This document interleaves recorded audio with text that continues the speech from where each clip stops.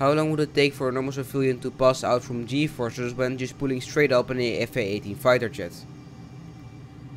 I would by the way really appreciate if you could drop a subscribe. And there it goes.